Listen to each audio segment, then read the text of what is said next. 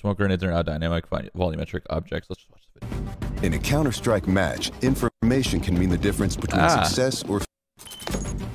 In a Counter Strike match, information can mean the difference between success or failure. Hey, it looks like Fortnite. Doesn't it kind of look like Fortnite a little bit? I'm getting some Fortnite vibes. result, smoke grenades have become a cornerstone of team tactics. With Counter Strike 2's new game engine, we've evolved smokes and made them dynamic. Those look good. Smoke grenades now create volumetric 3D objects that Volumetric. Oh, volumetric. Bye bye FPS. Bye bye. in the world. It was nice knowing you, frame rate.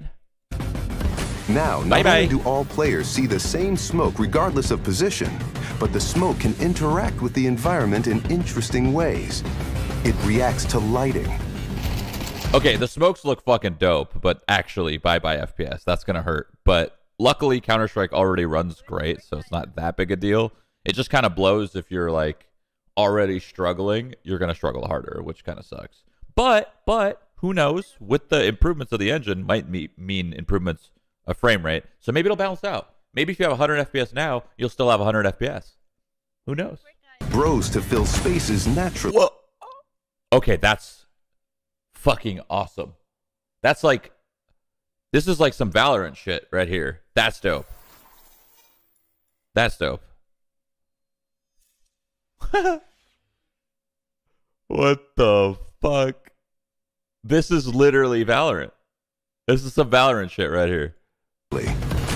Yo! Hold on. the shape of the, Hold on. the You're just gonna pan. Hey, yeah, yeah, yeah, yeah. You can't do that that fast, man. They just pan through that real quick for like 0.5 seconds, and they're like, "Oh, here's Valorant," and then they just move on. Ah, there we go. Paused it. What the fuck? That's insane. That is so good. That is so good. Where the frick I am? I can see his legs. Could you always see your legs in Counter Strike? Where the frick I am? I don't remember. The shape of the smoke cloud can be pushed and carved by bullets. What? The fuck? and grenades. Okay, bro, bro, you're blowing my mind. You're telling me, Where the frick? Bullets you're telling me, and grenades. fuck off with this more video shit, man. I can't click this. I can't. Okay, fine, we'll do this then. How about that? We'll just back up. The shape of the smoke cloud can be pushed and carved by bullets and grenades. In Counter-Strike 2, smoke grenades What? provide even more tactical opportunities. What is that? Okay, that I don't actually like. I don't like this. The nade part is cool. The bullet part, not so cool. That that this right here is is not. I don't like this part. I do like the nades though. The nades are really cool because then you could. It's like a it's like a pseudo counter for like a, a you know a couple seconds. It's like another. It's like a it's like an actual. It's a nade to counter a smoke, which is cool. But bullets going through it just means everything counters a smoke. So what the fuck's the point of a smoke? Don't really like that that much. In Counter-Strike 2, smoke grenades provide even more tactical opportunities. They're just going to look and play better.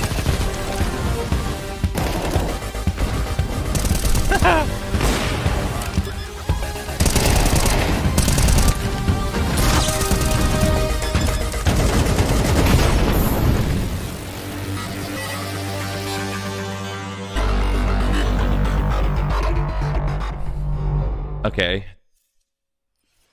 Whoever shoots first through a smoke loses. Right? That's kind of what that sounds like. If you shoot through a smoke, it's going to puff up for you, and then that person's going to shoot through the puff, and then you just die. Don't don't really like that, but hey, they'll change it. That'll be an easy change, I'm sure. They could probably get rid of that instantly.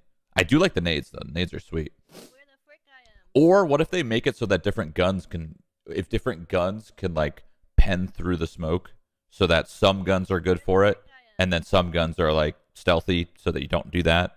That could be cool, I guess.